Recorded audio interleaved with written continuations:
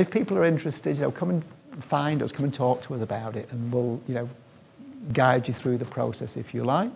Um, it's not for everybody. Some people start and for various reasons don't complete training, but even for those people, you can still work within paediatrics without completing your formal FRACP examination. So there are other options for you as well, but still working with children and families.